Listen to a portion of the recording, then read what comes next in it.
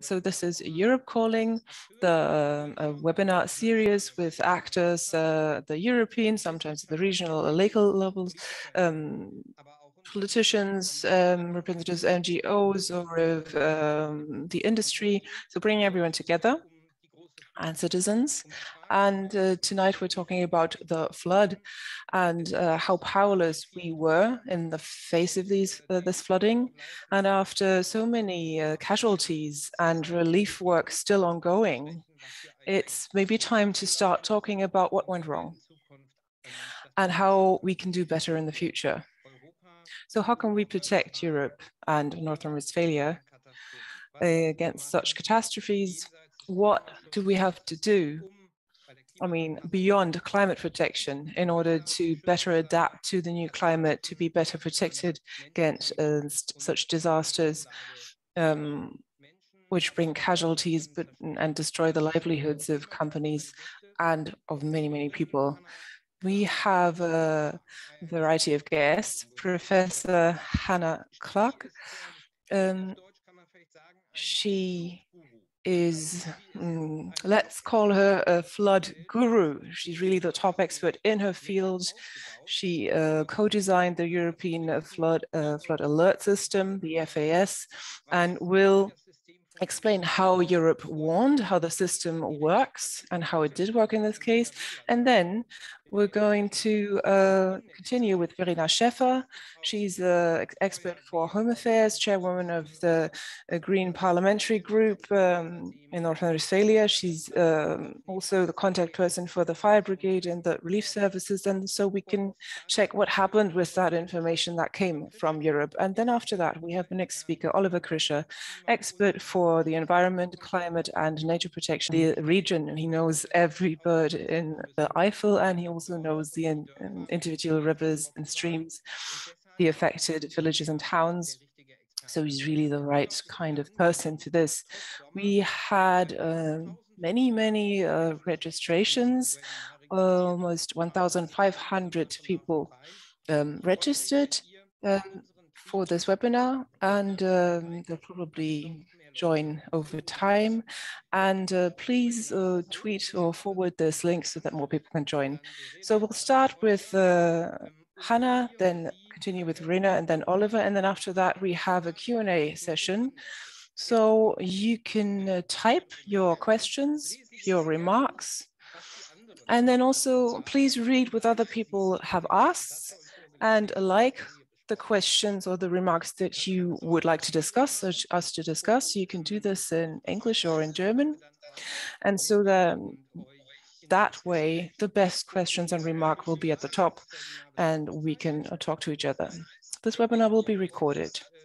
So if you put your name down and um, ask a question, that will be part of the recording so that people who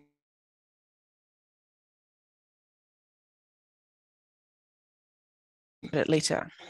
Europe Calling is an interactive uh, session, an interactive series, and especially today with this uh, type of topic, um, with this very topical uh, discussion, that's particularly important.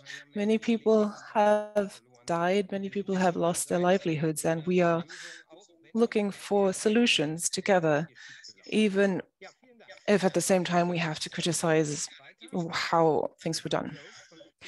Let's uh, start with Hannah Cloke and look forward to your contribution. Hannah, please.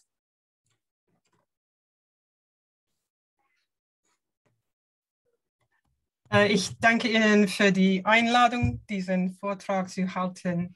Thank you very leider, much for the invitation. Leider ist mein Deutsch verbesserungsbedürftig uh, make the speech. Unfortunately, my German is not that good, and as the topic is very important, I think I'd rather speak nicht, dass Sie durch meinen schlechten in another language abgelenkt werden. Uh, because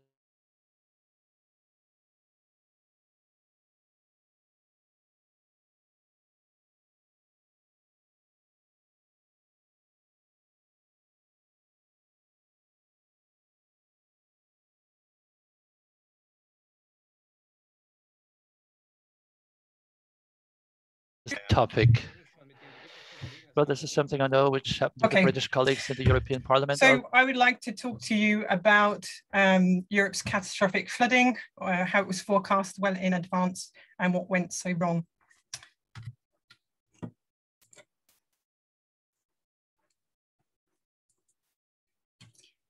So I've spent more than 20 years learning how to provide early warnings of floods for better preparedness. And I'd like to tell you today about what the European Flood Awareness System is as part of the Copernicus Emergency Management Service. I'd like to talk to you about what early warning means for being prepared for floods. Think about what went wrong and how we can make forecasts valuable and also thinking towards our changing climate and how we can better prepare for floods. So I am a flood forecaster. I'm a climate scientist and hydrologist, and I helped to set up the forecasting system that was used to predict the recent floods in Germany and surrounding countries at this European scale. And I saw days in advance that they were coming. And then I read the reports of the rainfall and the river levels rising. And then I watched with growing horror as the death toll surged. And I truly believe that we should not see so many deaths from floods in 2021. This is simply unacceptable and something has gone wrong. So this is the European Flood Awareness System. I call this EFAS. You can pronounce it lots of different ways. Uh, you can go and look yourself at the website. Uh, I've put the web address there, efas.eu. And it's part of the Copernicus Emergency Management Service. It provides early information on flooding to national and local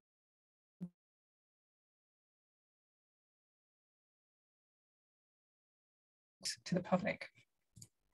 So what is the Copernicus Emergency Management Service? Uh, it's got other bits to it, as well as floods, and the Forest Fire Service is very busy at the moment, for example. It provides European and, in fact, worldwide comparable information on upcoming hazards such as floods. And for floods, we have the European Flood Awareness System and also its younger sister, the Global Flood Awareness System, which looks at flooding across the world. It provides early warning for the preparation of aid assistance to complement national and regional services. So not to replace them, just to support them with early information uh, and where some people don't have enough information and they can re rely on, on this European and global uh, information. There's also knowledge and transfer and exchange and improved data sharing, which are really important parts of the service. And there's lots of support for international organizations, particularly with GLOFAS. So in 2003, just out, uh, just after my PhD, I moved to Italy and began working for the European Commission. And my job was to help set up the EFAS system. And this was following the devastating floods in Europe in August 2002. And the idea was these floods were so awful that we want, never wanted to see them again in Europe. You know, we have the technology to predict floods in advance and to take action. So we never wanted to see this type of devastation again. Now I work closely with EFAS and GLOFAS, the global system, in my role as an independent flood scientist. And I work to improve and analyze the flood forecasts. So for example, we've looked at the monetary benefit of early flood warnings in Europe and found on average, it's kind of a 400 euro return on one euro's investment. So there's substantial value in using early warning systems. I've also worked with the Red Cross Climate Centre and the UK government um, with tropical cyclones in Mozambique and, and other parts of Africa as well, who take action on the ground based on global, really quite coarse and uncertain forecasts to help get people out of the way of devastating floods. EFAS has been very successful. I mean, it started on like one PC, one computer, and now it's supported by a supercomputer and several teams of scientists around Europe and communicators around Europe. So for example, EFAS uh, provided information for the severe floods in the Balkans in May 2014. And there were warnings to both the Emergency Response Coordination Centre of the European Commission and the national authorities in these different countries eight days before the flooding. Now, it's not always possible to provide that information eight days before, uh, but the earlier you can get that warning, the better. EFAS sends out bulletins of early information, which are designed to be read and understood and acted upon by experts. They're not directly available to the public. Public flooding warnings come from the national and the regional and sometimes the local weather, environment, civil protection agencies. EFAS information must be used by these authorities alongside their own local forecasts. Old forecasts from EFAS are publicly available 30 days after a flood. So reasonably soon, you'll be able to look up yourself on the EFAS website uh, what those forecasts are. This is the type of bulletin I'm talking about. Uh, a flood notification email gets sent out. And the idea is that this is a heads up, okay? Be aware, something big may be coming. And the idea is the recipients use the EFAS web interface for the details of what's coming, the subsequent forecasts, and there's also information on flash floods. So this is what an EFAS flood forecast might look like if you were to go on the website. This is a forecast from the 12th of July. Now EFAS flood forecast forecast for major rivers. It can't look at smaller river basins below 2000 kilometers squared. It's designed for these larger scale look at what's going on in the whole river basin. So for the Rhine, uh, we get these red dots uh, showing that the river levels in the major rivers are you know, worrying and we should be looking at them because uh, it's, there will be a flood coming in these areas. But of course, as a hydrologist, you're thinking about all of the water it must have rained somewhere for the water to run to those major rivers. So as a flood forecaster, you're looking at the whole basin and where that rain is falling as well, and thinking about that across the basin, not just at the point where it says it might flood. So this crazy diagram down the bottom with the spikes, very, it looks um, very interesting. You don't need to understand the whole thing, but if we start at the three red dots down the bottom where it says Sunday the 11th, that's the beginning of the forecast that's issued here. And as we go along to the right, we're going into the future. If we go up on the diagram, the river level is going up. And the key thing to note is if we get into the purple, that means there's a serious flood coming. It's an extreme uh, threshold. It means you really need to pay attention to what's happening here.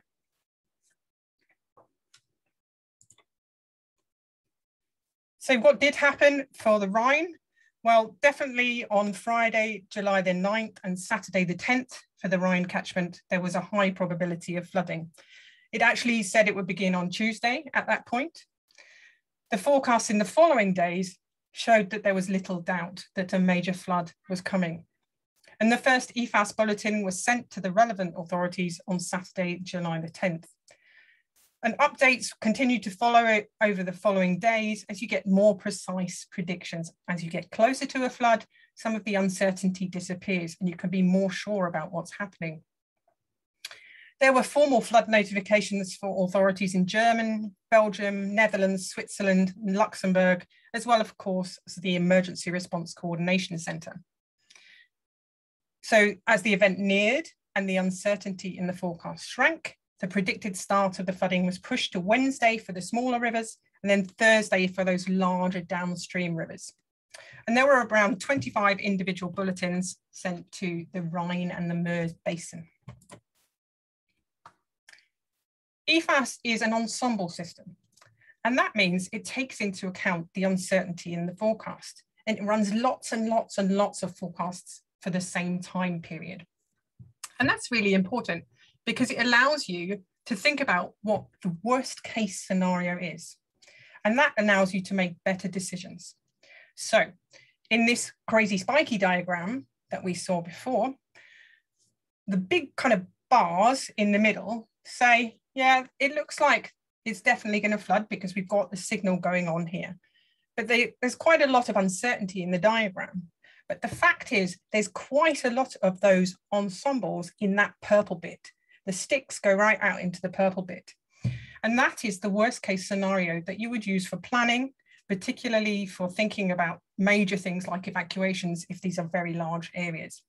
So when you have these ensemble flood forecasting systems locally, they allow you to take direct action on the ground. But as I was saying earlier, we use this type of information uh, to pass to the Red Cross in Mozambique in a much coarser system at the global scale. This is what the flash flood indicators might look like on the website. So again, you've got the purple bit means there's extreme things happening. Um, and it looks for these smaller basins that you can't resolve, you can't see in the EFAS system. Uh, and it does, so it does things slightly differently. It just looks at the rainfall and works out how that flows over, over the land.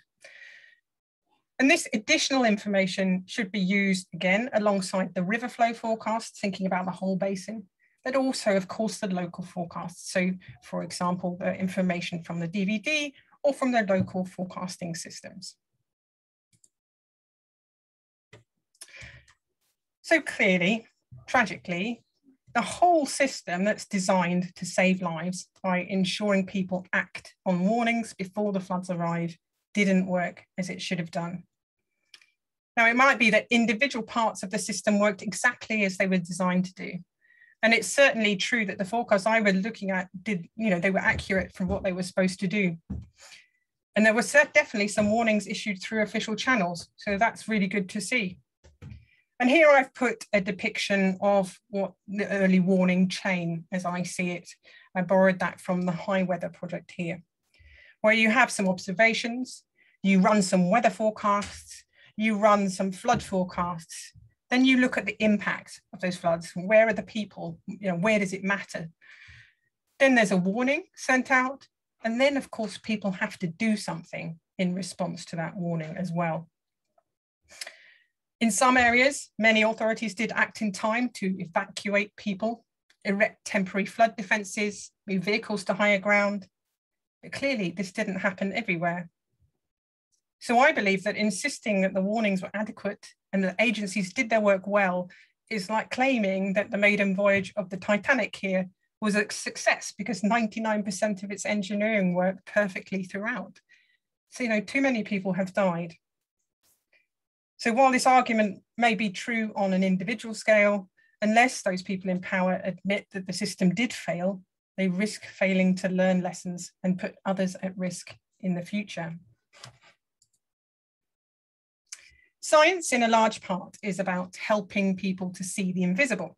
So I like to really um, urge people to think like this. What's the use of a perfect forecast if the people that it's supposed to warn can't see the danger that they're in in their imagination. What is the point in using a giant computer model to predict what's going to happen if people don't know what to do in a flood?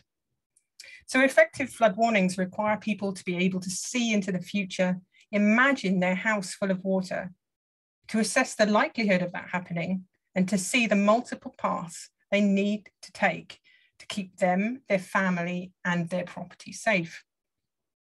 And here, sadly, we have seen what happens when people cannot visualize the threat of a river ripping down their street or a lake appearing in their house. And these elements of flood warnings must improve. Also, you need to have a really long memory to understand the risk of flooding, much longer than a human lifespan. There have been big floods in these areas before, but you know, people don't remember because they weren't alive then. If you want to see a little bit more about how, floods work and how computer models work, um, there is a YouTube video here that you can go and look that I did a few weeks back for the Royal Society Summer Science Exhibition.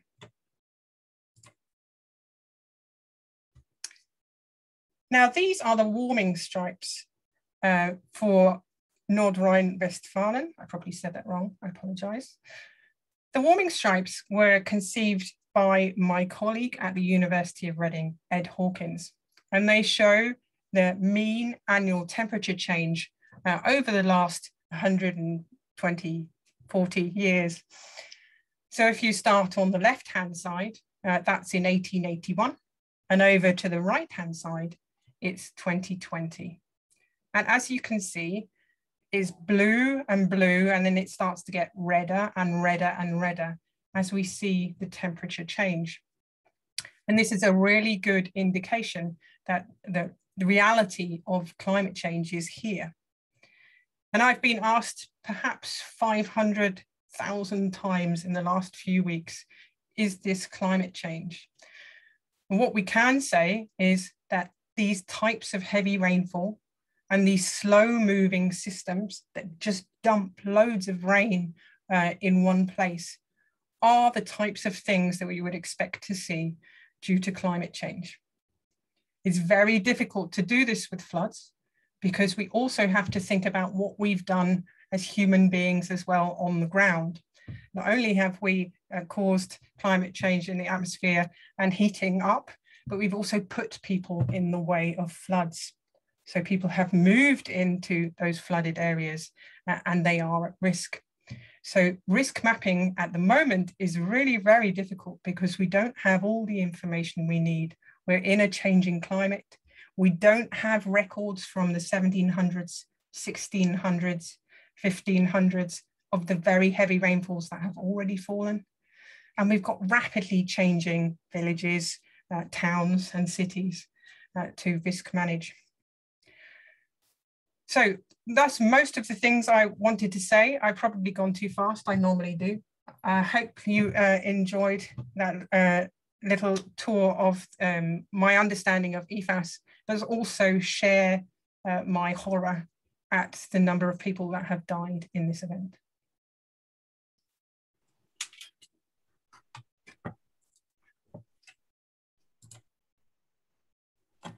Yeah, thank you very much. Uh, that was uh, very clear. And uh, always when I hear British colleagues speaking at European events, it always leaves also a feeling of sadness. But uh, let me say, uh, you are still fellow Europeans and thank you that you helped setting this European system up. And yeah, but I will hand over without further ado to Verena. Please, Verena.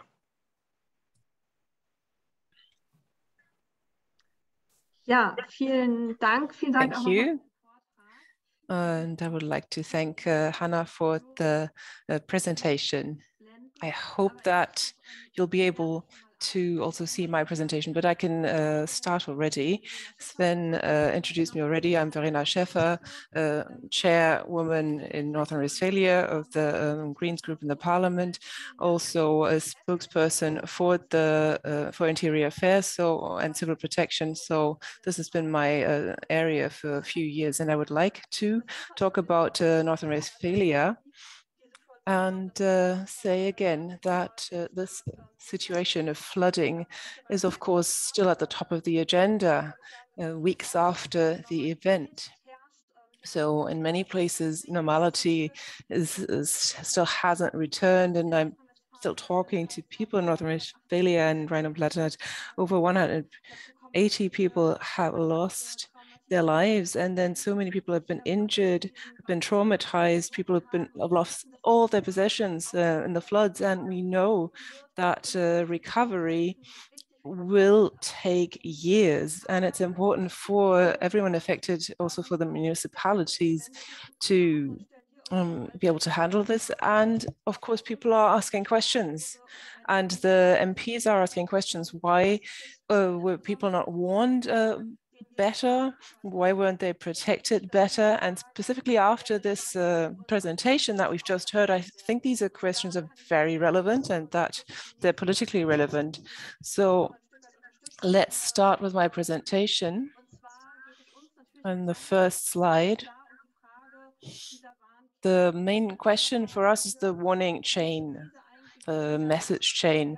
And so we've heard again that it was clear that flooding was going to come. The storm severe weather event was impending and the problem is the issue is what was done with that. So we had a meeting last week uh, of the home affairs uh, commission and on the 12th uh, on the 12th um, so on monday the districts and the towns as the competent authorities received a storm warning uh, by the german weather service. But apparently there was no um, evaluation of the of this warning. It was a message that was passed on without uh, comment. So the municipalities were not asked to act explicitly by the uh, higher level authorities.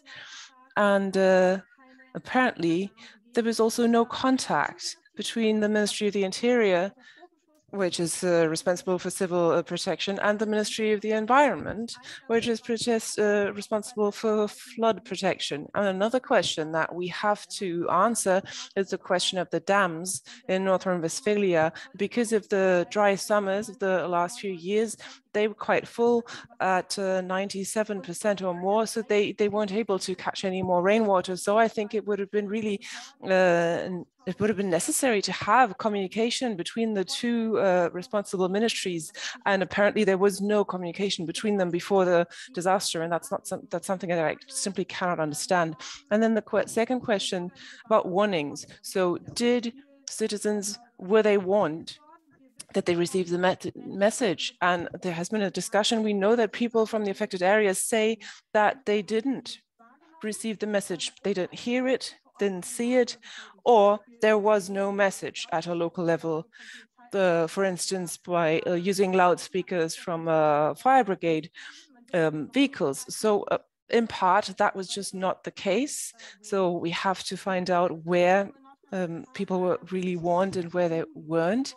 And um, the Ministry of Interior in uh, North Rhine-Westphalia says that's the responsibility of the municipalities and that it's their fault. But the land has the option to do this and has the option and, and possibility to do it and they chose not to. And i think that we do have to expand our warning system sirens. After the cold war a lot of them were abolished in germany. We also need uh, cell broadcasting so emergency uh, text messages to, to all uh, smartphones and in a specific area.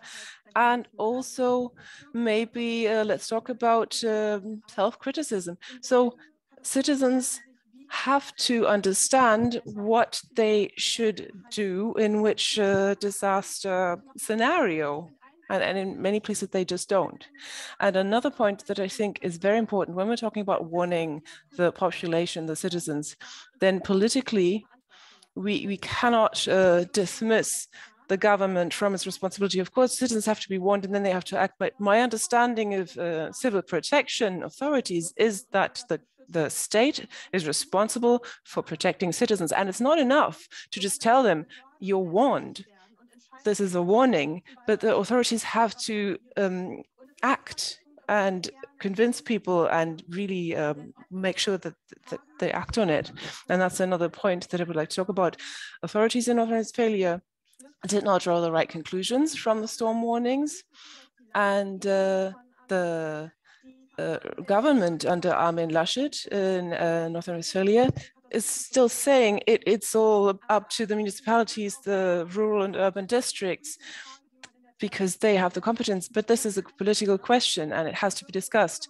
So district administrations and mayors of the 54 districts in North Rhine-Westphalia with their administrations, are they really able to evaluate and assess such a storm warning and make such major decisions as a like an evacuation? Because that's um, actually overriding basic rights. Isn't that really something that should be done at the level of the land at least to have the back of municipalities and maybe help them with such decisions and apparently that didn't happen in North Rhine-Westphalia. And it's a point that we would like to discuss further. And personally, I'm really moved by the question um, what happened after the flood started in particular districts. So if you know North Rhine-Westphalia, Euskirchen, for instance, and the night from Wednesday to Thursday, it was flooded early morning Thursday. And only after that, Erftstadt was flooded. So it was after Euskirchen. And I think that when it was clear that uh, little streams uh, became raving floods in the area, warnings should have been sent to other cities and municipalities and districts. And again, there was a lack of communication there. And I think that's another major issue that should be um, cleared up. So at the moment, we're still busy asking all of these questions, trying to find out what happened. And um, we're trying to improve things. And I would like to agree with uh, the previous speaker. We have to learn from this and change things. And for civil protection, disaster management, we definitely need some changes. So these changes um, aren't supposed to be a criticism of the relief services. So just let's take a look at the number of people who are active in um, fire brigades and, and relief services. So we have 100,000 members of the fire brigades. Volunteers make up over 85,000 of that. And then we have other volunteers, uh, the technical relief service, uh, other relief services, the German Red Cross, the Maltese and Johannite relief services. So I would like to thank these, a big thank you to all of these uh, people and of course the members of the police and the federal army. So what I'm saying isn't a criticism of, of them. It's really about the structural issues in civil protection and disaster management. I think we need a strengthening of that and maybe also a question of how to better involve uh, volunteers. Maybe that's another point. Let's continue. Uh, three more points that I would like to quickly uh, talk about. I think these are points that have to be changed in disaster management. It's not an exhaustive list. That would be too much for uh, this short presentation. So the first thing is um, a needs assessment for civil protection. So we have such needs assessment for fire uh, protection every five years at the level of the municipality. They have to be reviewed and adopted. So um, these are plans to um, analyze the risk, the potential risk at the local level, what protection scenarios. So how long will it take to get this X number of uh, firemen uh, on the spot? And what uh, what's the technical requirement, what equipment do they need, and then that's going to be adopted at the level of the district administration. And I think we need the same thing for civil protection because we need such assessment, needs assessment in order to really be able to prepare for different scenarios, flooding, forest fires, longer um, blackouts. And these plans should also contain warning concepts um, an inventory of the of critical infrastructure on the spot and uh, different support plans and other things. And I think that the district administrations of rural and urban districts and the lower level um, civil protection agencies should adopt this every five years, just like they do for fire protection.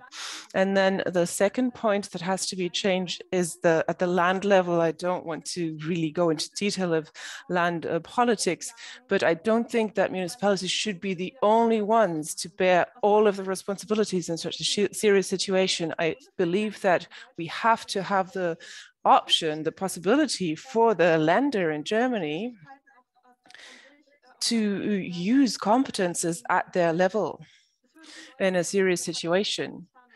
So we all we would also need this uh, civil protection planning at the Länder level, and the Ministry of the Interior in, in Northern Westphalia would also need to be more than just a supervisory agency as it is now, but also be a proper disaster protection authority. And the third point, we have uh, the BBK, which is the Federal Office for uh, Civil Protection and Disaster Management, um, a central office and I think this should become, this should really become a central office for civil protection. So At the moment, they're only competent if it's a defense case. Other than that, they're out and I would like to give them more authority. I would like to for them to have a coordination function. We don't want to centralize these competencies. It should be uh, should remain at the lender uh, at the Länder level, but the Länder should be obligated to send information to the BBK, and they could help coordinate, send uh, helicopters, and they should be able to ask for information in order to be able to better and quicker coordinate help where it's needed most. And that was just a very short presentation. So we, of course, need a lot of other topics, volunteers, crisis staff. It's impossible to name all the things that are necessary, but just to say that the Greens of North Rhine-Westphalia, of course, um, are shoulder to shoulder with the affected people uh, in terms of immediate relief. Um, even as an opposition party. But these questions that I've mentioned now are going to have to be discussed because people have a right to get answers to these questions, especially to the answer why these warning mechanisms didn't work. Ja, vielen Dank, Verena, auch das äh, sehr klar. Und, ähm, Thank you very ähm, much, Verena. This was very clear too. And I have to say to Hannah, Germany in many regards is a very decentralized and complex country. And uh, this has become clear also in the presentation we've just heard. And uh, if you have something which is called the catastrophe protection emergency plan cannot function because the word is simply too long. But uh, before I uh, make further inadequate jokes. I think I should rather have passed the floor on to Oliver Krischer, who is from the region, who has uh, been a lot in the region uh, lately, who is our uh, top candidate in North Rhine, from North Rhine-Westphalia uh, for the federal elections. Oliver, you have the floor.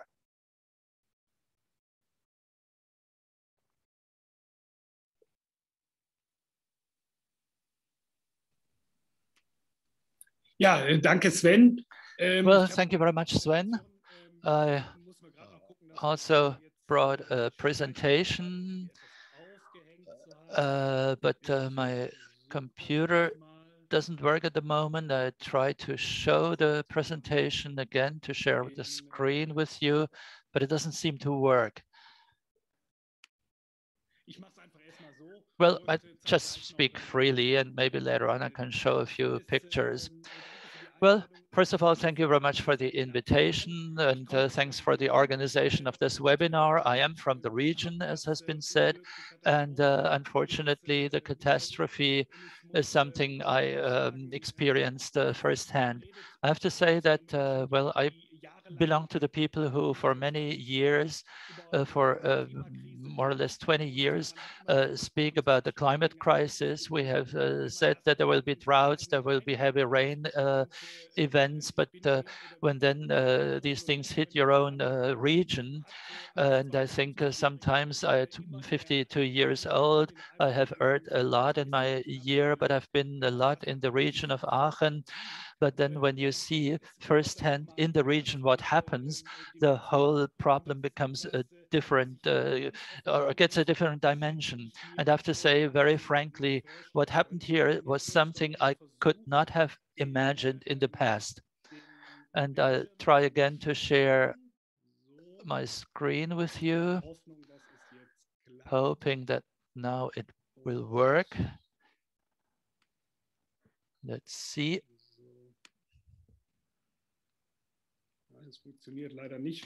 No, I'm sorry, it doesn't seem to work, which is a shame because I would have loved to show you a picture now at this point of my presentation.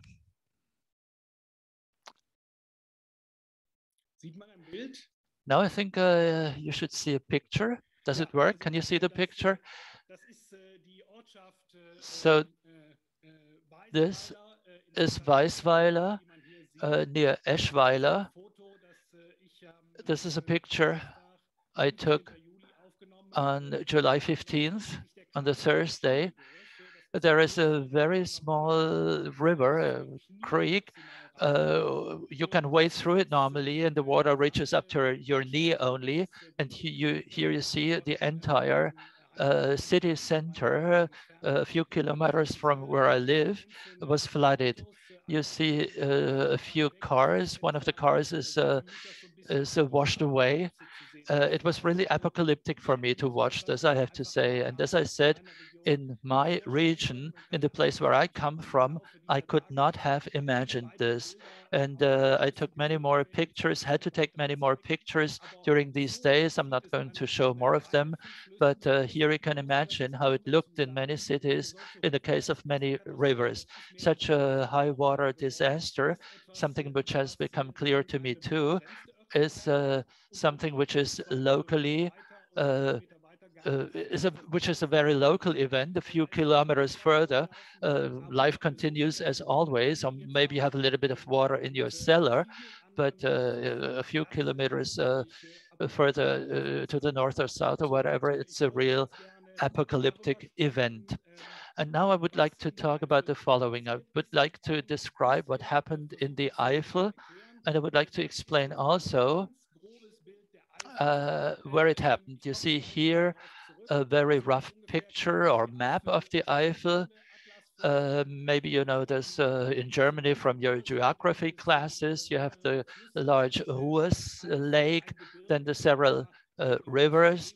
Uh, it's a medium range uh, mountain range of up to 600 meters, i.e. not too high. And towards the north, you have a slope falling down also towards the east. Um, and if you have a look at this, at, at what uh, um, Ms. Cloke has uh, shown, here we have a map published by the European Commission. Here, for example, you see four very dark areas. These are regions where you had extreme uh, precipitation events uh, happening.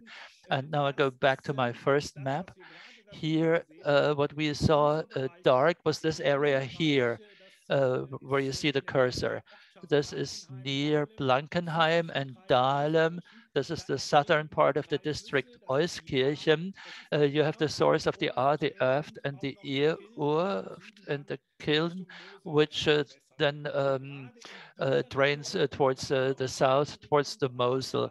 But uh, also in the region of Euskirchen, which I'm showing now with the cursor, uh, you had these uh, heavy rainfalls, these torrential rainfalls, and the water was kind of flowing down from the Eifel Mountains, but led to very different uh, situations locally. It was uh, a disaster here along the Ahr towards Rhineland-Palatinate.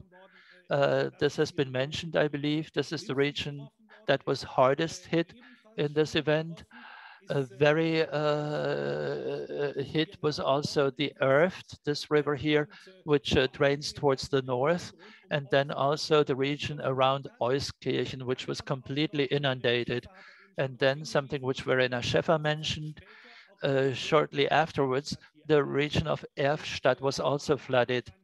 And uh, you probably have seen all these pictures of Blessem, uh, this uh, little village which partly in a landslide uh, was drawn into an artificial lake. Uh, that was an artificial lake uh, for producing sand for construction near the Erft and uh, the sheer masses of water led to landslides so that uh, part of the village was actually uh, dragged away uh, and what happened is uh, really cynical because uh, since large water masses flew into this artificial lake in Bergheim, i.e. further downstream, the Erft, um, the Erft didn't cause much damage.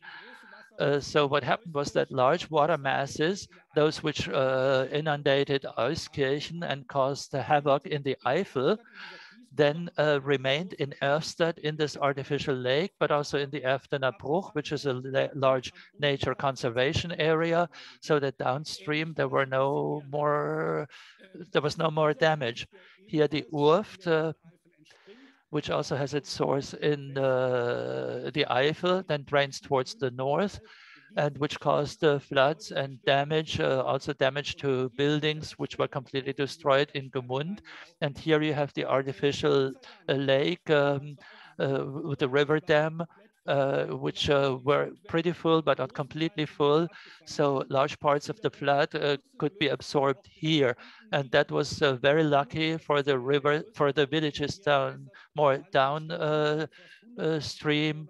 In the Rur, Düren, Jülich, larger cities of about 100,000 inhabitants, where you also had flood damage, but less damage than in other areas.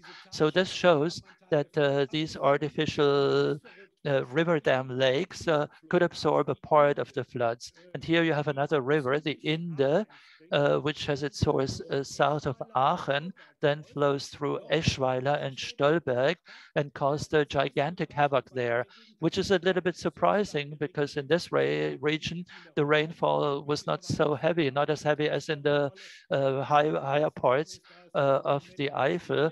Uh, maybe uh, at one point in an artificial river, they let off uh, water.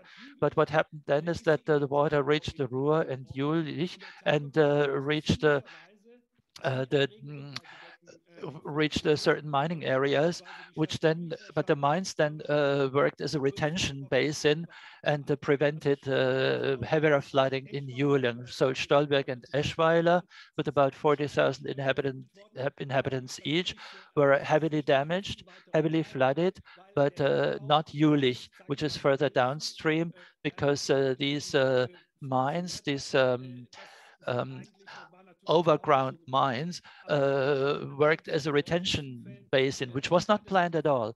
But uh, that uh, led to the fact uh, that uh, certain cities and regions were not hit. Uh, what you see here is also something which happened by accident, something, a picture I took on July 16th at the artificial lake of the Rur River Dam. And uh, uh, for the first time after 40 years, there was an uncontrolled overflow taking place. Uh, but this was something which uh, caused uh, flooding downstreams, but uh, thank God, not extreme flooding. so in this region, we nearly reached the disaster, but not quite. And as uh, Verena said, uh, these uh, artificial rivers uh, were already quite filled up. And here we had an uncontrolled um, flow off. Uh, we were lucky that the dam was not damaged, but this is something which happened by accident, which could not be controlled anymore. And here you see what this little river, the Inde, uh, caused when it entered those mines. I was mentioning this uh, overground um, mines and uh, the Inde, which had been uh, engineered about 15 years ago, found its way again um, into its former river basin, into its former uh, bed, river bed. And as I said, the water also was absorbed by the mines. I could mention countless other events, uh, show countless other pictures and tell countless other stories uh, which I've seen or been told in my region. And uh, if I um, make all think think about this all. It makes clear to me that what we need is climate protection climate protection climate protection. This is the first thing we need but i'm not going to talk uh, in detail on climate protection which is not our topic today. But i'd like like to say rather that we uh, the greens uh, in the federal bundestag uh, we were discussing uh, the issue of uh, flooding together with Anton Hofreiter and others we uh, need uh, high water protection. we have updated our report, our paper on it, on this issue. And we think that systematically we have uh, to um, assess the risks, risks and then have to change the infrastructure accordingly because it became clear also to me in the last uh, few days, and this is something Frau Klo Ms. Cloke also said, what we have today is not up to date anymore. Um, it does not really um, take into account these heavy rainfalls we're having now. And uh, something Rena Schäffer also mentioned, we have to help uh, people much more in uh, prevention. Uh, we have to uh, issue uh, clearer um, risk alerts. People live in the area. Uh, I was in the area. I have the warning app, uh, Nina, and was looking at it, and all it said was heavy rainfall. Uh, but uh, the River Mur, which could also had uh, could have caused a disaster, was not mentioned so the warning mechanisms didn't really work. So we need a new assessment of high water risks, and uh, we have to take into account or learn uh, what happened in the past, have to learn from the events of the past. This is also part of the discussion now that people say, well, in the past, in the Eifel, you had also um, um, high water events, but in the planning for today, these past high water events had not been uh, considered. So we need a new assessment and the central issue also for the Greens, uh, uh, which has been a very important issue for the Greens for years, which we try to push through in discussions in the parliaments, is that we um, need also um, landscape protection, uh, that we uh, do not just uh, soil the, the, the, the, the ground. We have to revert uh, soil um, sealing and we have to make it possible for the high water uh, to flow into uh, retention basins or flood, basin, flood uh, plains. But in certain valley areas, in certain parts of the country, um, many building activity has taken place in the past and um, if we just have uh, not enough room anymore for the floods, then there can be uh, things like dams which are overflooded or break. And uh, we're talking a lot about um, sludge cities um, what we need is that we um, have more green areas in cities and villages, that we have more absorption capacities uh, for um, water so that uh, we can, uh, do, by doing this, prevent inundations. And what we have in our artificial lakes and our in our mining areas is that in the face of such heavy rain, uh, we have to consider how new methods for technological high water protection um, can be developed because it's maybe better uh, that we uh, permit an artificial lake to overflow uh, than uh, that uh, human human life is lost, livelihoods are lost, as it happened in many places. So these are things which we have to analyze, uh, looking forward, anticipatory in an anticipatory manner, and uh, especially there where, where we have uh, areas available in valleys, we have to improve the absorption capacity of the soil. And something which is a very important lesson from the disaster, we have to discuss on how the reconstruction now is going to take place, how we are going to plan for the future, how we are going to learn from the past, from what we've been been been experiencing now. Uh, this is important for urban planning um, because in some areas maybe we shouldn't just not build any more. These are uh, analyses we have to carry out in the future. We have, uh, we mentioned this in a um, comprehensive manner in our paper, and uh, I'll mention the paper or the link to the paper also in our chat so that you can have a look at it in this paper in which we um, try to contribute to the current debate and express what is necessary to be done now as a reaction to this crisis. And uh, well, as I said, the first thing we have to do is climate protection because the causes of these uh, more and more frequent and more and more extreme uh, events uh, are what we have to tackle. This is our central task. Then thank you very much. Yeah, vielen Dank, Oliver. Thank um, you, Oliver. That was uh, also very clear, and it was good to uh, really see the rivers, uh, to be able to imagine um, uh, what it was like, and uh, that was quite helpful. I hadn't seen that in the media before.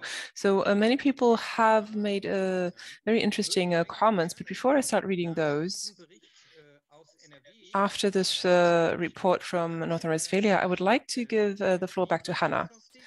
So uh, what's your impression? Do you have any comments? Is that the typical situation for flooding uh, for a country that is as rich as Germany, that things have gone this way? And we, of course, all uh, read what you said in the Times. So I'm looking forward uh, to your impression as an expert and would like to give the floor back to you. Thank you very much. Um, well, I, I stand by my comments that we should not be seeing this number of people dying and clearly lots of different things have gone wrong. Um, I was very interested to hear about the accidental retention basins, um, you know, from, from, the mines. And um, so actually it could have been a lot worse because this obviously wasn't planned for. There are lots of different things that need looking at. The, the risk planning, definitely. Um, um, Ms. Schäffer talked very clearly about that, and I think that's a very urgent problem. So it is much wider than the warnings and the forecasts. I talk about warnings and forecasts because that's what I live, that's, that's what I do for my job. Um, but we must remember all the other pieces in the chain too. And I uh, thought Herr Krischer's comment about um, uh, making the soil porous like a sponge to soak up the heavy rainfall where we can. Um, so using as much as possible uh, nature-based solutions is a really good idea. However, for these very, very heavy rainfalls, there must be an alternative strategy. Um, and, you know, the minimum is get people out of the way because people are fragile. And, you know, okay, houses are expensive, but people are fragile. Ja, vielen Dank. Um, ich werde jetzt mal die Thank you. I'm going to start uh, looking at the first written comments, the ones that have been liked many times, most times. So they're at the top. And the top ranked comment uh, was made by Christoph Scheuer, member of the Greens in Bad Neuenahr-Ahrweiler. So that I think is in Rhineland-Palatinate. And that's not our main, it's not our main topic uh, today because we are talking about the structures in Northern Rhine-Westphalia, but I'm sure we'll have the same uh, discussion about Rhineland-Palatinate in the near future. Here in the Ahr area, there were lots and lots of railways and uh, road construction. And so the river basin uh, was narrowed and the flow speed was increased. And so in this narrow Ahr Valley, the question is how to avoid such a flood wave in the future. And especially for us, the district town Bad Neuenahr-Ahrweiler, the Ahr is completely channeled. Almost all schools and uh, daycare centers are quite close to the river. And so the result of all of this is that they've all been affected and um, there's nowhere to go for the children. There have been 14 schools affected in the Ahr Valley, and the entire valley has been uh, is under construction. So we do need experts to help us um, to not make the same mistakes when we reconstruct. Um,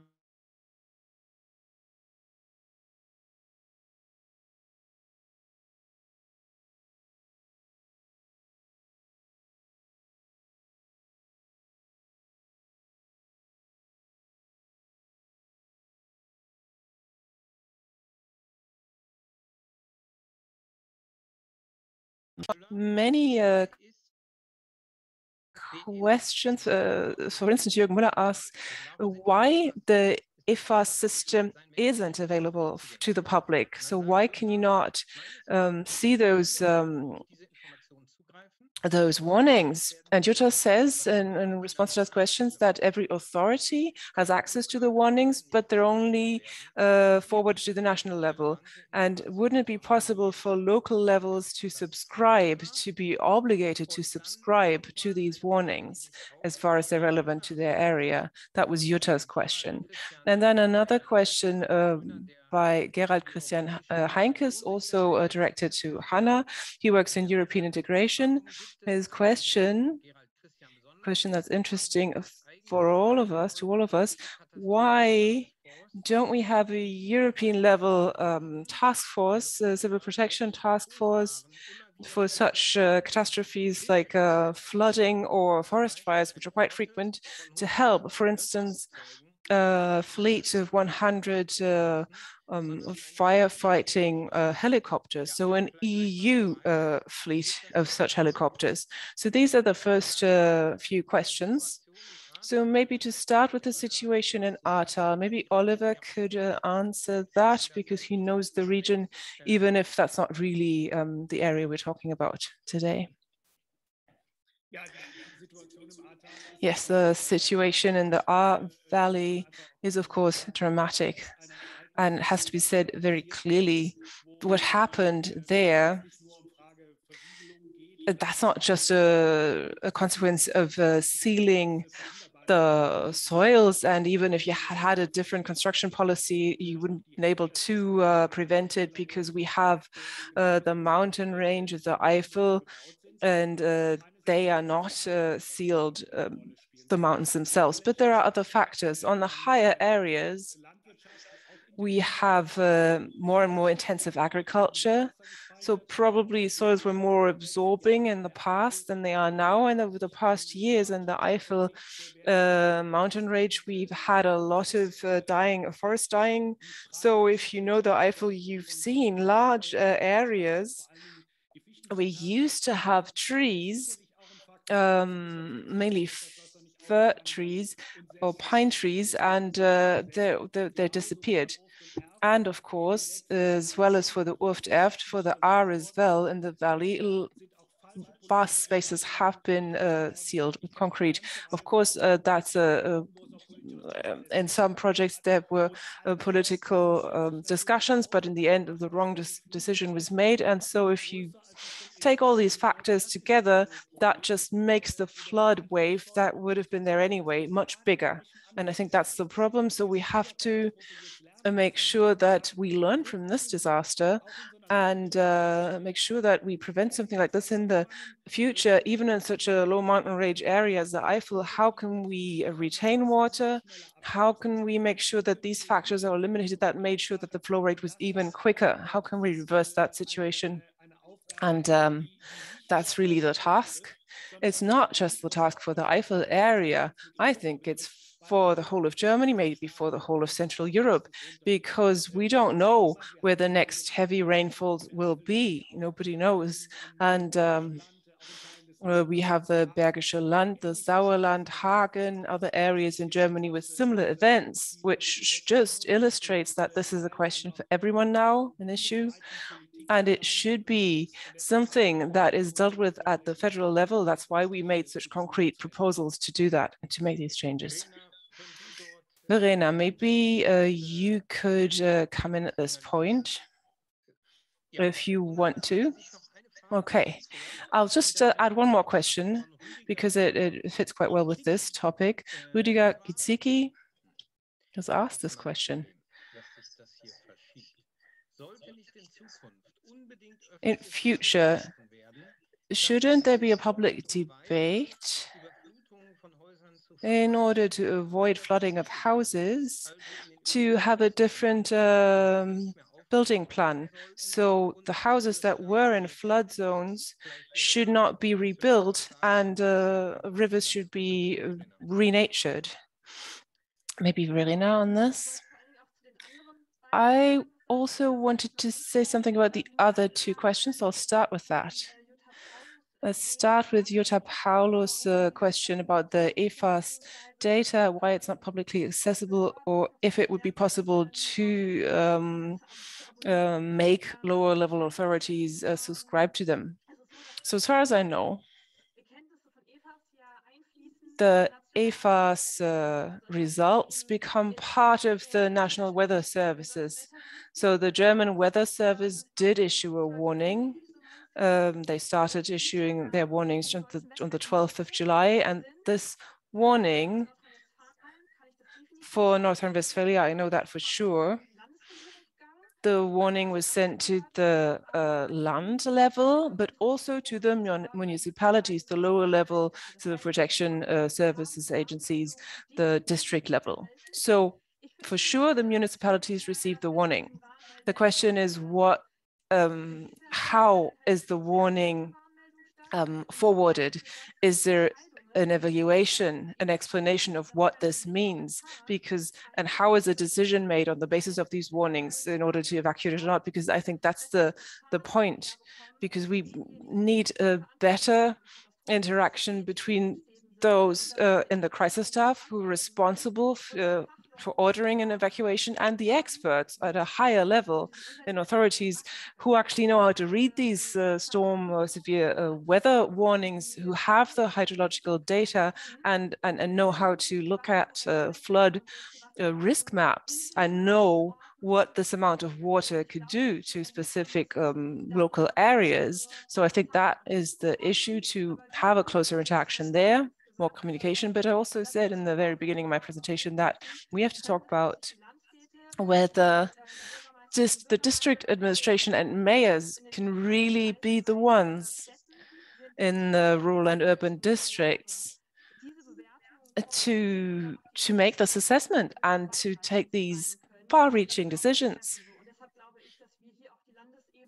And so I do think that the land level has to be strengthened in order to be able to make such decisions at that higher level. And then there was another question on Europe and the question whether we need a task force. So at the European level, there is a reserve of various types of funding so we do have some uh, planes for firefighting, uh, but the planes are not so useful in Germany. We kind of, uh, helicopters work better, but they also have um, emergency helicopters and um, European member states can uh, call upon uh, that reserve. So at the European level, we probably need a bigger reserve. That, Sven, that's your part, Europe. That's probably something for you to look at. But in principle, that's already, it's already there, but maybe it has to be expanded. And then the third question was uh, what do we have to change? I think that Oliver could say more about that. That's not my area of expertise. But of course, it's an important discussion. And we as the Greens are in this discussion now, also about uh, reconstruction and recovery. That's not easy, but we have to talk about settlements in high risk flood zones, of course, and think about it. So that's uh, definitely one of the issues um, at hand now. Hannah Cloke, particularly as far as the transparency of the European system. So why isn't everything uh, publicly available? That's a question for you. Thank you. Um, so the member states themselves all around Europe have decided how EFAS is available. So it depends then on the national decision chains, what happens to that information. Now, I'm a big believer in open data. Now, I don't represent Copernicus, you know, I'm an independent. I have this opinion myself. I think everything should be open. Uh, but I must caveat that by saying a single warning voice is really important in getting people to take action. So at the local at the local level, you need one person telling you that a bad flood is coming so that you can take that decision in an emergency. And if you have all these pieces of information everywhere, it can be very confusing and then you don't know what to do. Um, and we've seen that in other disasters as well, where there's too much information uh, reaching the local level. And EFAS is a European scale coarse early warning system. It's designed to trigger this heads up, oh, something's coming. It's not designed to forecast at the local level. Now in Mozambique, we use it because it's the only thing available. Okay, but in Germany, do you have some of these structures here already, and you have abilities to, you know, install sirens in in these very flash flood, these rapid response catchments, and get those warnings to the people locally. Um, you know, there is, but there is a case to be made in in the current environment where we have, you know, institutions like Google kind of producing things like flood forecasts and lots of companies now starting to think like this. Maybe, maybe we're changing the way that we look at flood forecasts and we have to do better at, at, um, at thinking about where people are getting the information from. but it is the member states themselves. So Germany has decided, along with the other member states, that it should be behind closed doors. So I can't change that. I would, you know, I understand people's frustration at not being able to see the information that I could see. Um, I, I would like to comment, I think, as well about the um, risk mapping.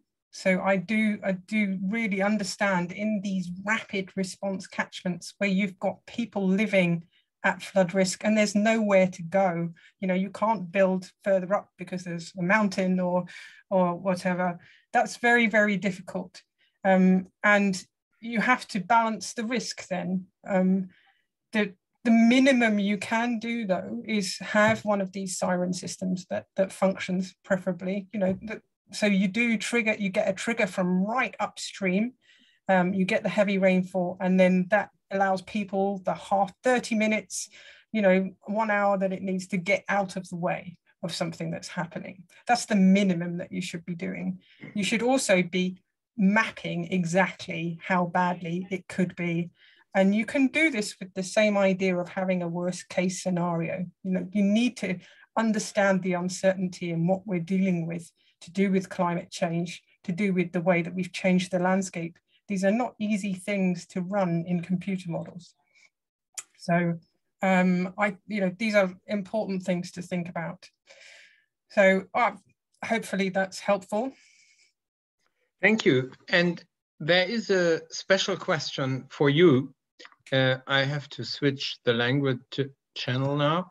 So, uh, and I will, it has been put in English by Helga Schmidt, who is the correspondent in Brussels for the public uh, broadcasting service uh, of North Rhine-Westphalia, WDR.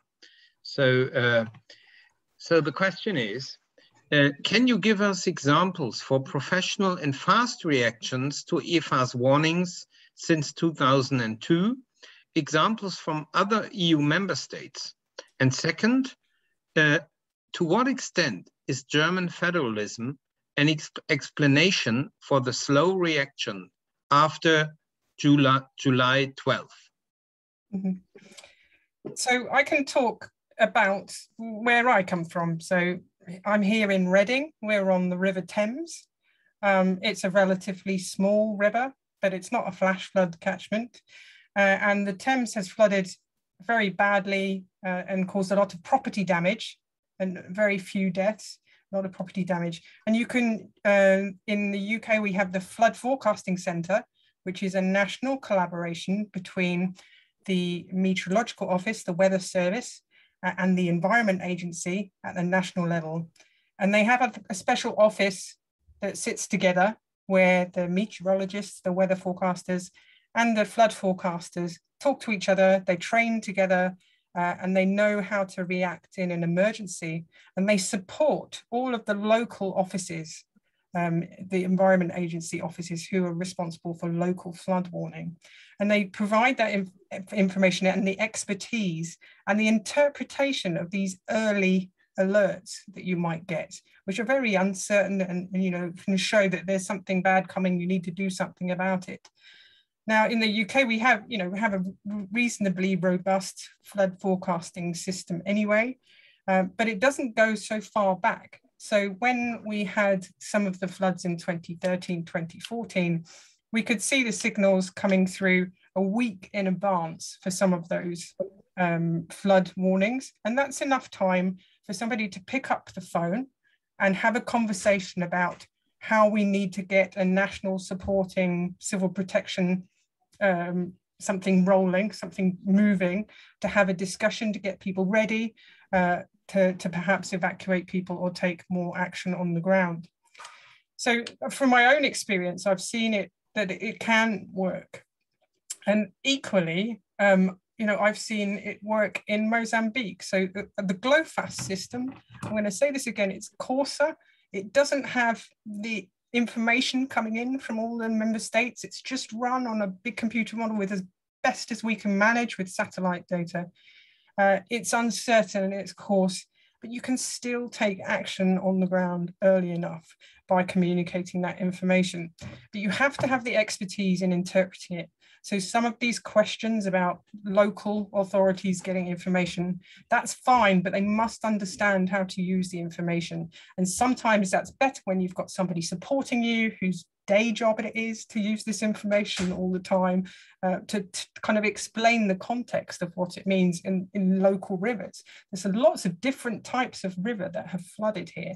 Uh, and so you need the local expertise. There's wonderful um, discussion about all the rivers that have, have been flooding here. I mean, I know this information because I'm not familiar with the region, um, but I can tell you about the um, probabilities and what that might mean and uh, how you might think about taking um, a worst case scenario approach. You know, there, you know, there is this chance, and it's a reasonably big chance when we're thinking about it, that we've got a very serious, more than a one in a hundred year flood. I probably haven't answered all of the questions because I've forgotten some of it. Leider Gottes kann man nie alle Fragen vollständig beantworten. Well, it's uh, never quite possible to answer all of the questions, but uh, one uh, question that interested lots of people uh, was posted by Dirk Wilhelm about a similar uh, topic, nuclear waste and floods. Mr. Krischer and Ms. Schäffer, what do you think about the project in Würgassen, uh, North Rhine-Westphalia, uh, in order to use the retention uh, space of the Weser uh, to use uh, 80,000 uh, square meters and to seal 50,000 square meters in order to uh, construct the ZBL LUK, whatever that is. That was an abbreviation. I'm sure the speakers can explain it. And you can read the question yourself. So it's basically about uh, depositing nuclear waste there and the risks. Maybe you could explain in your answer what it all means. And uh, he says that it's really not the best zones uh, with heavy rainfalls, topographically um, not the best area. Oliver Verena, um, who would like to start? beschäftigt bin, äh, auch schon äh, mehrfach vor Ort well, war. I can answer the question because uh, I've been dealing with this and I know the um, citizens uh, initiative which exists there. I've been talking to them um, and uh, a very critical discussion is taking uh, place about uh, the mine uh, Konrad in Lower Saxony and then mm, the, the, the the, the, the, the um, storage site which is planned there. Uh, and uh, th these are the discussions which are taking place. Um, there are very uh, virulent discussions taking place locally, and uh, flood risk is also an important factor in this uh, respect uh, for this storage area for waste. Um, which was going to be built uh, where we in the past uh, had a nuclear power station, which shows how crazy we were in the past. And this is something which has to be assessed uh, afresh in the light of the uh, flooding events that have just taken plan, uh, place. And Sven, I'd like to talk about the um, more principal question here, because we have to understand that the high water we have had now um, uh, means that things have to be reconstructed. And uh, I'm not aware of everything that's taking place in North Rhine-Westphalia, but I think uh, we are not the first when it comes to taking into consideration such uh, heavy uh, rain events. The last uh, government in North Rhine-Westphalia had a heavy rain concept, but when Armin Laschet became governor, this concept disappeared. So this is something that has to, to be discussed now. And what has to be discussed too is that uh, the uh, regional government in North Rhine-Westphalia um, has uh, reduced the measures for flood prevention. Uh, for example, um, the prior right uh, when it comes to buildings for local communities, uh, when they wanted to build flood protection, has been reduced under Armin Laschet. And then uh, the, the, the, the, Water Framework Directive, which is also uh, positive uh, for flood prevention, um, has been considered less by the new by, by the current government. So these are the issues we have to touch upon in the political discussion because all these little things this, which, which appear minor things, are nevertheless very relevant when it comes to protecting people. And I think uh, that um, as Professor Cloke, uh, it is clear uh, these uh, extreme weather events will also happen in the past. We will always have flooding. But as far as I understood uh, the science, it's very important or crucial that we find a way uh, to reduce the extremes, to mitigate the extremes, uh, which uh, are already triggered by global warming, uh, that we uh, have more, uh, have to have more drainage possibilities in the future. And I'm from the region, I live in the region. I say that when the next flood comes, I don't want to have retention areas which are just by accident retention areas. No, I think we need an anticipatory flooding uh, or high water policy, uh, which uses the areas um, which exist, which are possible for drainage at Erft, at the Erftebruch.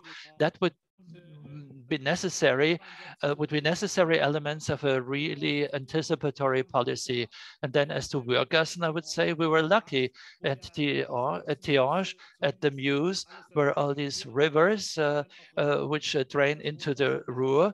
Well, um, we were lucky that the high water was not that extreme there, um, uh, so that uh, the nuclear power station there was not uh, hit. But uh, this is also something that has to be taken into consideration when we talk about high water. And this doesn't only concern Germany, as a matter of fact, but also Belgium.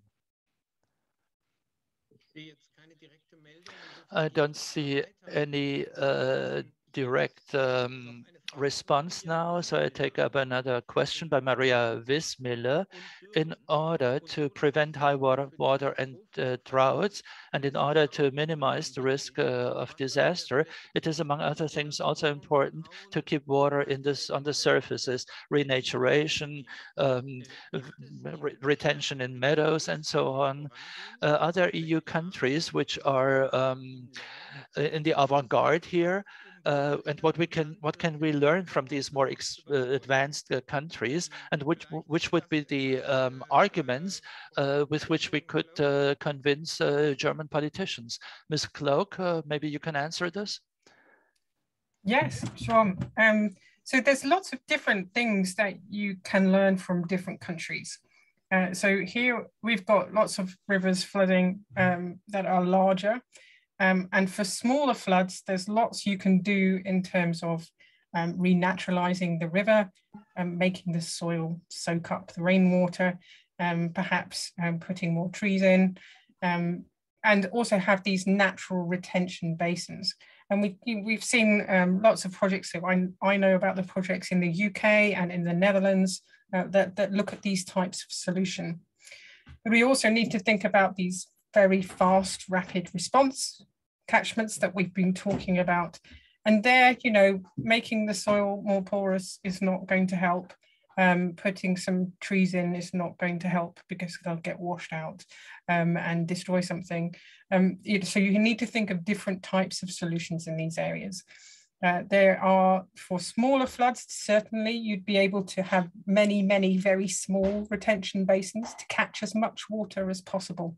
So that that's that's something that you you can try, um, and even so in the relatively low highlands in here in the UK, we've been looking at you know the multiple um, uh, rain catching zones there. But I will say again that it's very important to realize that for these very, very heavy rainfalls in these flash flood catchments, um, that that's not going to help. And there will always be these very big floods that will overwhelm even the natural systems. So there's certainly something to learn about naturalizing and using the natural landscape.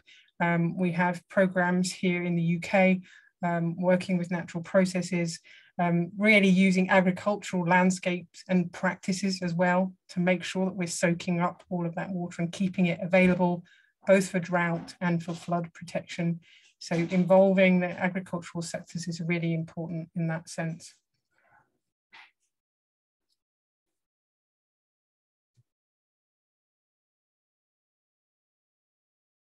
Vielen Dank, sehr klar. Um, Thank you very much. That was very clear. I have two more questions here, which um, refer directly to um, civil protection. Christoph Scheuer again from Bad Neuenahr-Ahrweiler, uh, from our local uh, party, Green Party there, as to the discussion on warning apps and cell warning uh, via your um, uh, smartphone. How can they help when there is no uh, electricity anymore? Uh, when uh, you don't have a reception, when uh, the mobile phone network doesn't work anymore, and you're cut off from all sorts of communications in the Ahr Valley, um, the relief workers uh, had no possibility to coordinate among one another because of that problem. And then the second question asked by Barbara Kanavka in schools, she says, there are disaster uh, exercises which are carried out, and we have these also for the population. These are questions, I think, which uh, Verena should maybe answer. Yes, thank you very much. Thanks for these questions. First, first of all, as to uh, the topic of alerts, we talked about warning um, prior to the disaster, but uh, it's also important what happens when there is no network anymore, no electricity anymore. And therefore, um, uh, civil protection experts uh, say that we need different warning systems. Uh, for example, apps but uh, besides them, the classical sirens. We have to say that in uh, Germany, after the end of the Cold War, uh, the political situation was uh, so that we said we don't need this anymore. The whole uh, uh civil protection in Germany was not paid much attention to, but now we are starting to starting to think afresh about civil protection, and. Um, uh, we started, I think, uh, at the beginning of the 2000 years. And in North Rhine-Westphalia, we say that uh, as to our firefighters, well, we had first to reform our law on firefighting in 2015. Um, and it became clear uh, that uh, there was a political uh, political shift in our landscape. And then the topic of sirens. Well, in many local communities, sirens were um, discontinued. I think we need them in the future, but we you also have to think that sirens and siren alarms have to be understood by the people. So what uh, does it mean when there are certain alarm um, tones that are sent out? and I'm no exception to that. I wouldn't know how I uh, have to react when there is a flood and there are certain siren tones that I hear. This is an understanding we don't have in Germany anymore, uh, also because we don't have that many natural disasters in Germany. So what I think is that uh, this is something we have to discuss more, and then uh, the ability to help oneself uh, this is something for which uh, the local communities are responsible. This is something we need more for our population, but we also have to think about the problem at a higher level and uh, have to think about how we can uh, make information that reaches the mm, local population better uh, over the radio maybe or other ways when there is no electricity anymore. These are many uh, topics I think we have to discuss. Then uh, the question of uh, disaster exercises at schools, I have to say, I uh, was born in the middle of the 80s and I've never carried out or participated in a disaster exercise at school. So I can really not talk about this. Uh, I don't remember any such thing. And I think this also shows that altogether, uh, we have to um, strengthen civil protection in Germany. And uh, uh, I'd like to um, send out a political call to uh, pay more attention to civil protection in the future, because uh, we know that because of climate change in the future, it is very likely that we will have more natural disasters uh, we have to deal with. And uh, therefore, we need to reinforce civil protection. In uh, home affairs, I think uh, uh we have to talk about the police. Uh, we talk a lot about the police and this is okay, uh, but we shouldn't forget civil protection, which definitely has to be strengthened. we have made first steps, but I hope that uh, we uh, stop this kind of silo thinking uh, that the, the home affairs uh, ministers of uh, uh, the federal countries um, remain within their field of competences, don't want to pass on competences to the federal level. Um, this is um, something we cannot afford in the future anymore. I think uh, the way I see it in North Rhine-Westphalia, we have to, to, to, to, to understand uh, this disaster as a break with the past so that uh, in the future we have a stronger civil protection.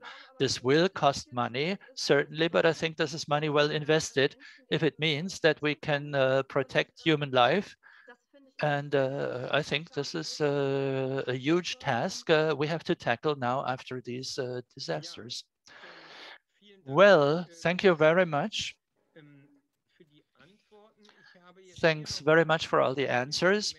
And here Oliver uh, is telling me that he would like to say something on the, the issue of river dams. And this uh, has to do with something that Dr. Lohmann from the Wuppertal Institute uh, said.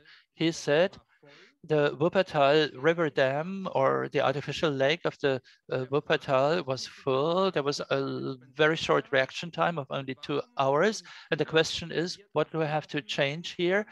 and uh, why didn't we let off water earlier in order to have a huger buffer? Oliver, please. Well, this is a very important and very uh, just question, because I've shown um, at the example of the Ruhr that uh, it was more by accident that we could prevent the worst. Uh, this shows that these river dams are something very important in flood management. Uh, many of them are very old, were built by our grandparents. Uh, many of them are over 100 years old. Uh, some of them are very controversial. Ecologically, they are controversial. But when it comes to flood protection, they can play a very important role. And in the last years, it became clear uh, what was the following, what was the, the most important uh, problems? Something I know also from the area of the Ruhr. Here we understood uh, that we have to change the role of uh, these river dams and artificial lakes because uh, they have to retain water uh, for uh, the droughts in the summer. What has been happening now was the exact contrary of this. And at the Wupper, this was obviously a, very big problem, and this is something we have to discuss at the political level. We have to wonder how we have to manage these uh, artificial river dam lakes in the future. We have to find a solution uh, for uh, droughts and also for flood, flood protection. But what uh, we certainly need, and this is something where we have to do a lot, I believe, is, uh, and this is also something Professor Cloke uh, oh, sorry, uh, what, I mean is that if there is a warning from Professor Cloke, all the operators of these river dams have to be informed so that they can let off water before the high um, the, the, the, high water events or heavy rain event uh, comes.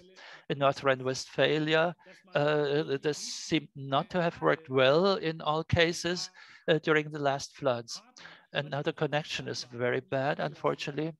What happened in North Rhine-Westphalia was that uh, many of these artificial lakes were too full and uh, no water was let off before uh, the heavy rains. So I think uh, this is also because in the past we remained too much in our silos. And I would hope that in the future, um, the in, polit in the poli in politics uh, of uh, the federal states, uh, we talk more about uh, how we manage these uh, river dams and river dam lakes, because they can play a very crucial role in flood protection. And uh, okay, one colliding uh, area is drinking water. Uh, we need drinking water protection too. Is something we know from the region in Aachen. Uh, despite uh, um, in Aachen, uh, the priority was drinking water and not flooding. so we have to discuss all issues. It would not be acceptable, as a matter of fact, that we do things um, at um, uh, to the detriment of uh, drinking water.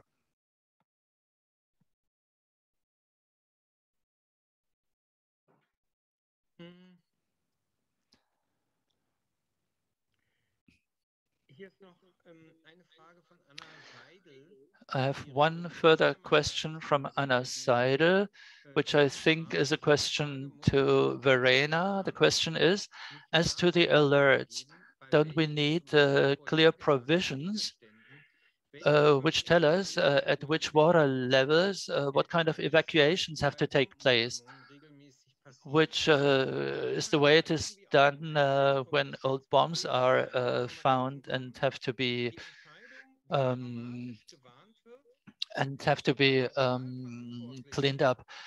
So um, normally the responsibility or the competence is at the local level, but a catastrophe of uh, this uh, uh magnitude, uh, as uh, Hannah Cloke said, is something these people have no experience with.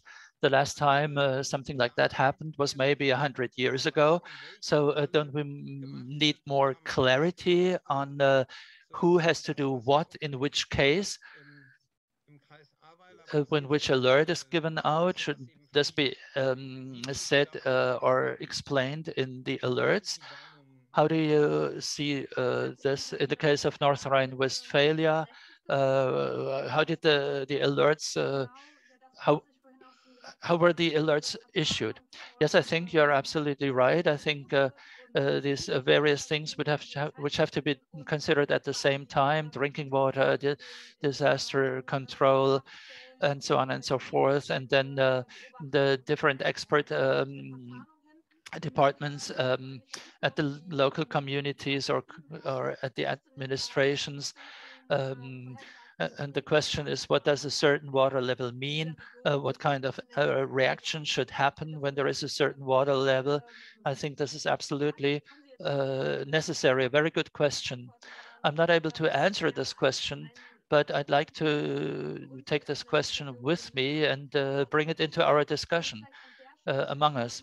And I'd like also to um, um, advertise this idea of uh, civil protection, which has not been created by us, the Greens, but I'm talking also with the Association of Firefighters in North Rhine-Westphalia, and they have always called uh, for including into uh, disaster control and civil protection uh, planning also in this regard. This is what we need, I believe.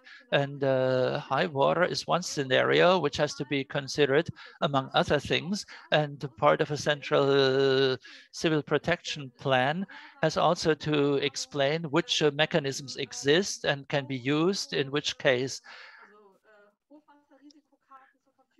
we have to uh, incorporate um, flood risk maps so that we can understand uh, where such disasters can happen so that we can uh, take uh, action where it is necessary.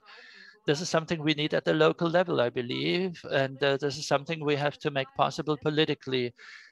in our law in North Rhine-Westphalia, it is provided for that we have disaster control planning uh, but I think there are no um, municipalities or city councils uh, which have already had a vote on this, also as to the firefighters. So we need more um, uh, compelling uh, provisions here for uh, civil protection, for disaster control um, as a precautionary measure because uh, we cannot prevent a catastrophe, but we can prevent that uh, people um, are harmed by these catastrophes. Well, thank you very much. Thank you very much. Uh, I think um, our energy levels are going down. It's relatively late. And uh, if somebody wants to say something more, uh, I would give you the possibility, only if you want, it's not necessary. And then I'll I'll uh, say a few uh, concluding remarks. Hannah Oliver, Verena, uh, Verena has said everything which is a priority for her. Everybody's fine. So I'd like to say the following. So, uh, from the uh, European uh, point of view, it was a European catastrophe, and uh, the many um, dead casualties and the pictures, uh, photos from um, Belgium are just uh, as horrible as uh, the pictures from North Rhine-Westphalia or from France or from Rhine-Palatinate.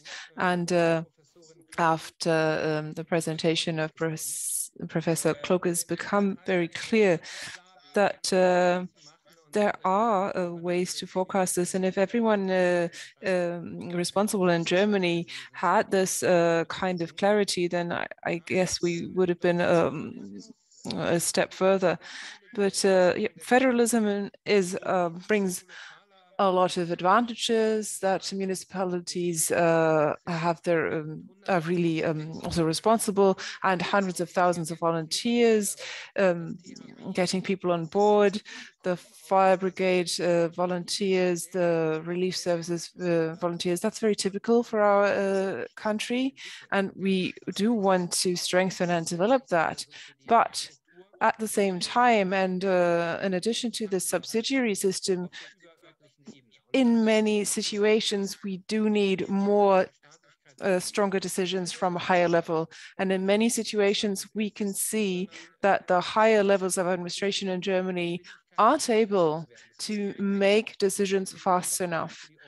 And uh, in many areas, that's also true for Europe as a whole.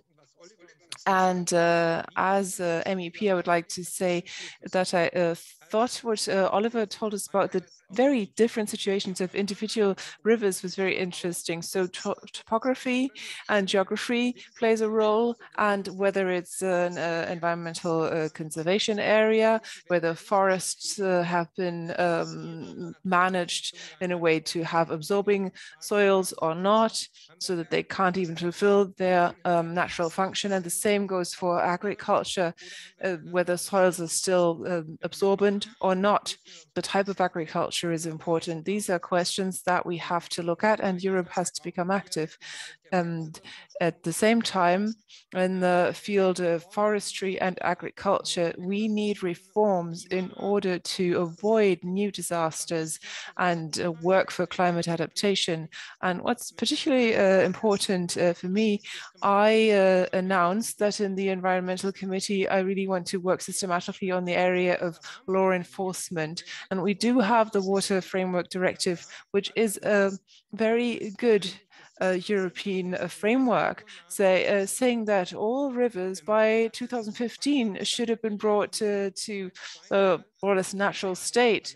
And then you can, and that hasn't happened, and you can uh, delay by um, six years twice. So by 2026, you have to have done it. But in Germany, just as in many other member states, no plans have been made in order to reach even that goal of 2027, sorry. And under the Red Green government, Johannes Remmel in North Rhine-Westphalia has done a lot. And it has to be said that Armin Laschet actually went into reverse gear on these measures and uh, cut the budget for renaturation and flood protection along a German um, rivers, and there, there aren't even any plans to reach these European objectives to make sure that by 2027 all rivers have to be in a good state. I mean, that is an infringement of European law. It's against the spirit of European law. And a year ago, over a year ago, I have uh, put this on the agenda in the parliament, and I'm always urging the commission to introduce infringement procedures against all member states uh, which don't have uh, these plans in place. And uh, Ms. van der Leyen was very quick um, to go uh, to the local level, and that was very positive in Belgium in this case. But I also expect her to start European reforms and make sure that flood protection and re renaturing renaturing our rivers is taken seriously because it's not just a climate crisis, it's also a biodiversity crisis. And that would be another uh, issue that uh, we could um, manage by making the rivers uh, more natural? And I think that's a central question for Brussels. Why has the Commission not started the infringement procedures? Isn't this something where the Commission could, the EU could exert more pressure in order to avoid such catastrophes? I mean, it's been said very often that renaturing, um, making rivers more natural are not uh, cannot protect you from extreme flooding, but it would make it less aggravating.